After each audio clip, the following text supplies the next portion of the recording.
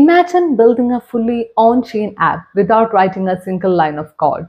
No IDE, no GitHub, no team of devs, just a sentence. Sounds impossible. Not anymore. Welcome to Ledger Life. Today we are talking about Caffeine AI, a brand new tool that's letting builders spin up vaults, games, dashboards, even face tracking AR apps using just natural language prompts. In this video, I'll walk you through some of the most mind-blowing projects built using Caffeine AI. And stick around because once I get my invite card, I'll be building an app for Ledger Life itself and sharing the full build here on the channel. Now let's get in. Developers and builders working with the Internet Computer Protocol are starting to adopt Caffeine AI to build applications at speed using plain language prompts rather than traditional code. From Web3 data vaults to real-time card games, financial dashboards, and mini-game platforms, early users are discovering how much they can create with relatively little effort, provided they are comfortable testing, tweaking, and working with tools that are still evolving. Caffeine AI is designed to turn written instructions into working apps directly deployable on ICP. The tool interprets prompts and assembles functional code bases that live fully on-chain. For some, this lowers the barrier to entry. For others, it's a way to quickly prototype or build tools that would otherwise require teams of developers. Several early users have shared their projects publicly, and the range of outputs has been surprisingly broad. Among the more well-publicized launches is Enclave X, created by the team at NextBlock. It's a Web3 vault for storing passwords, seed phrases, and other sensitive data securely on-chain. EnclaveX runs on the ICP network, taking advantage of its decentralized infrastructure to deliver a fast and private experience while removing the need for cloud storage or third-party key management. The developers built the vault using Caffeine AI's natural language interface and are now seeking feedback from the broader community as they continue to improve its features. ICP Hub Egypt has showcased rapid AI-driven development with two projects. First, they built an AI-generated card battle game where Caffeine AI handled everything from logic to deployment, keeping track of gameplay and memory without needing constant input. The AI was the lead, producing a working game from a sentence-long prompt. The team sponsored the project enthusiastically. Additionally, in just three prompts and three minutes, they developed a basic 3D first-person shooter game, fully on-chain on ICP.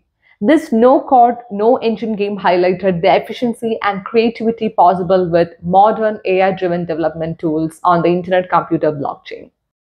Individual builders have also weighed in with their experiences. Markus set out to build a couple of simple games and ended up with a functional mini-game platform that includes wallet integration. He worked on it from a phone while commuting by train and said the whole thing came together in around two hours. There were no code editors, no terminals, just a conversation with an AI and a live deployment on ICP. Markus also experimented further, building a personal data storage solution on ICP with just one design and one functional prompt. He is sharing the evolution of this project publicly and has plans for its future development. Another developer, Fabio, decided to test how fast he could build a basic financial dashboard. Using Token Terminals API and feeding prompts into Caffeine AI, he created a functioning fear and greed index app in under 15 minutes. He admits the version is early and lacking full data integration, but the core logic is there and any initial bugs were handled through follow-up prompts. He plans to continue iterating on it and he released a video walkthrough of the build. You can check out the link in the description of his YouTube video. Scott took a different route, creating fairmarketcap.com, a project intended to shine a light on misleading trading activities such as wash trading. Built with the help of Caffeine AI, the site presents data visualizations that aim to tell a more transparent story than some of the more established ranking platforms. It positions ICP within broader market comparisons, while also pointing out where others may manipulate volume or market cap visibility. Josh Drake, part of the Dfinity team, wanted to see how easily existing templates could be repurposed. He chose a jewelry app from the Caffeine AI marketplace and rebuilt it into a point of sale system for a local coffee shop, all with two prompts. He used it to demonstrate how quickly app logic and front end frameworks could be reoriented without touching the original code. Then there is Danz, who built a social tool for saving, organizing, and sharing prompt content. The app Caffeine Companion is already live for testing and allows users to create a profile, save their favorite prompts, and see what others are generating. It's a small project but serves as a useful example of how AI development is starting to intersect with community features and collaborative workflows. Dexter built Chess Arena, while Westcliff Technologies developed a face tracking plus AR app in just three prompts and less than five minutes. Setting up face tracking using TensorFlow models is far from trivial. Getting reliable face tracking to work, especially with objects that follow facial movements in real time, usually requires significant effort coding. Caffeine AI made it look easy. Trevor Knight developed Luna Link and Luna Drop, a peer-to-peer ICP wallet that enables offline transaction sharing through generated payloads. These can be transmitted via BLE mesh, SMS, or radio. As a bonus, the app doubles as a way to geolocate family or friends in emergencies. And speaking of rapid builds, DGenX has launched a new dApp called Pandemonium built using Caffeine AI. It's a lightweight tool that lets fun AI miner holders monitor their canister health in real time. Just log in with internet identity, enter your miner addresses, and instantly see what's running, idle, or down. No coding, no wallet extensions. Built fully on chain on ICP. Pandemonium is fast, functional, and fits the quirky, fun AI vibe while solving a real problem. And yep, it was built with natural language prompts through Caffeine AI. It's free to use for now, and there is already community interest in how tools like this might evolve when pricing models come into play.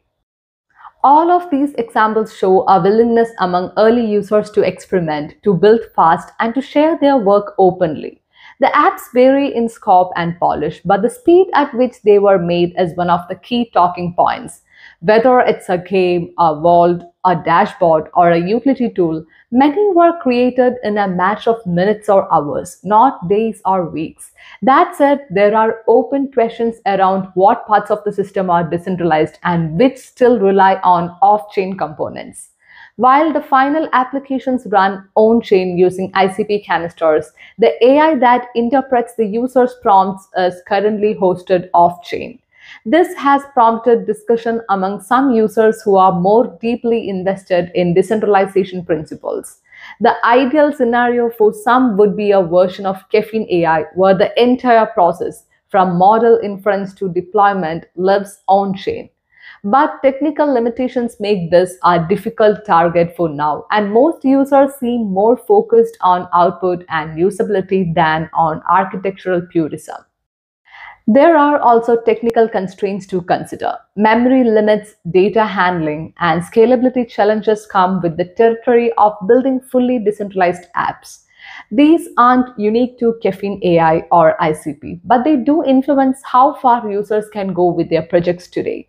Performance can vary depending on the complexity of the prompt and the level of follow-up required. Some users have reported needing multiple iterations to fix logic errors or fill in missing pieces, while others say their builds worked on the first try. Despite those variables, the overall tone from early users is one of curiosity rather than frustration. Most appear to be approaching the tool with a mindset of exploration rather than production. They are aware they are working with the product in early development but the ability to go from concept to live application so quickly is proving useful, especially for testing ideas, validating assumptions, or just learning what's possible. The long term potential of tools like Caffeine AI depends on how well they integrate with developer workflows and how much control they give to users who eventually want to go beyond fast builds into full customization. If it can scale, remain stable, and add depth over time, it may continue attracting interest from across the Web3 space.